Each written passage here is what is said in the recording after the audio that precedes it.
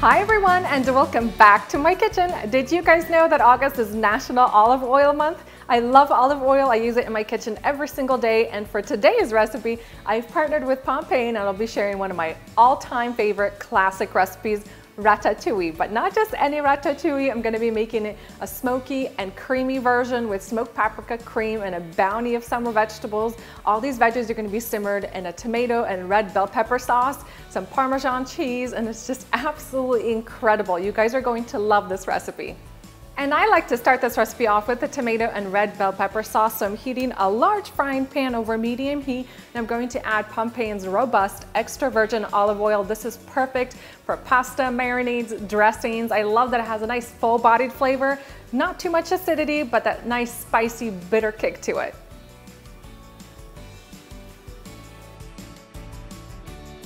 And once my olive oil is heated, I'm going to add in one large diced red bell pepper and one large diced onion. Going to toss this all together and then cook this over medium heat for about four to five minutes. You want the red bell pepper and the onion to be translucent but not brown. And a few minutes later, I'll add in four minced garlic cloves. And time to add some smokiness and herbs. I have two teaspoons of smoked paprika, a tablespoon of French herbs, so there's thyme, rosemary, bay leaves, and a little bit of lavender in here. Ground black pepper. Season this with generous amount of salt. And I also like to add some fresh thyme to this dish. It is just so aromatic. It's gonna add a ton of flavor to the sauce. And then in goes a cup and a half of crushed tomatoes. And to balance out some of the acidity from the tomato sauce, I'm going to add in a teaspoon of sugar and a couple tablespoons of Pompeian organic balsamic vinegar. And this sauce already smells so good. I wish you guys could smell the aroma through your screens right now. Absolutely phenomenal. I'm going to let it simmer away on low heat for a few minutes. I'm going to chop up a few basil leaves and then add these in right before my sauce is done cooking. And the last ingredient to the sauce, half a cup of heavy cream. Pour that in, stir it in, and then take the sauce off the heat. And now moving on to the star ingredient of this dish, the vegetables. So I have this gorgeous bowl of veggies here filled with heirloom tomatoes. I have some yellow zucchini, green squash, and Chinese eggplant. And the secret to making a great ratatouille is slicing the vegetables as thinly as you can. You can use a sharp knife or you can use a mandoline slicer. And try your best to make sure that all the slices are the same thickness. That way they'll cook evenly in the oven.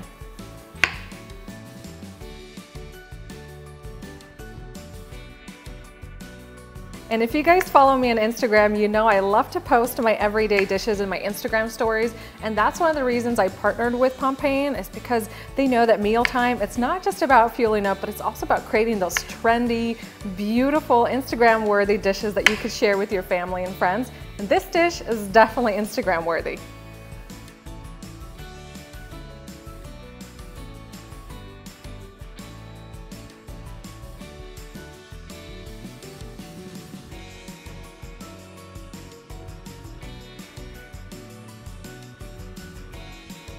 And I find the easiest way to arrange the sliced vegetables is to create little stacks of them first. So place alternating layers of veggies into small little stacks on your cutting board. And then once you have those stacks all assembled, you can arrange them into the casserole dish.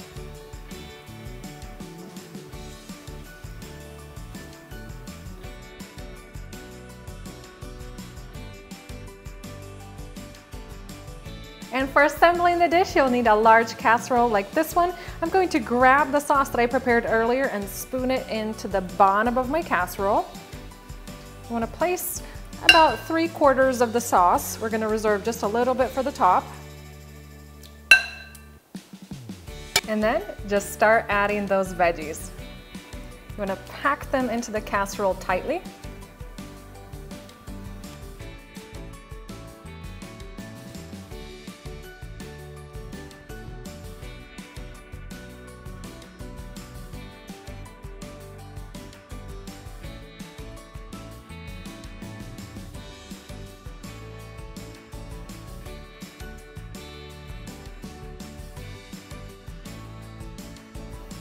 And I'll gently spoon on the rest of that sauce kind of in between the veggie slices.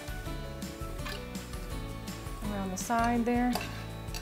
And now for my topping, I have some fresh thyme leaves here, and to that I'm going to add Pompeian Organic Extra Virgin Olive Oil. Now if you're like me and you love your organic products, then you can rest assured that you have careful handling and production with this oil, and you still have that amazing, incredible flavor.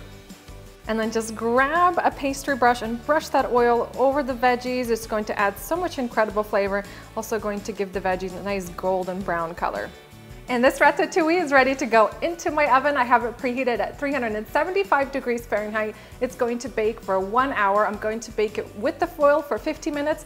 Take that foil off, add some Parmesan cheese over the top, let it bake for another 10 to 15 minutes. And if you want, you can also place it under the broiler and let it broil for about five to seven minutes so the veggies are really nice and golden on top. And how good does this look? I took it out of the oven about 15 minutes ago, let it uh, cool for about 15, 20 minutes, and then dig in and enjoy. And the aroma of this dish is absolutely mind blowing. I could not wait to get my hands on this dish. I did let it cool down a little bit. Time to dig in and enjoy. Mmm. This ratatouille is so, so good. I love all those incredible nostalgic flavors. It's such a comforting dish, warming dish with the herbs and the olive oil and the sweet tomatoes. Absolutely incredible. I will be making this dish very often this fall. I haven't made it for a while and I came back to make this and I was like, I am missing out. This is so good. For the full recipe, just head on down into the video description box. And for more recipes and tips on how to trend in the kitchen, visit instagram.com slash Pompeian. You can also share your on-trend kitchen creations on Instagram by tagging your photo with hashtag trending in the kitchen. Hope you guys enjoyed this recipe and I'll see you next time.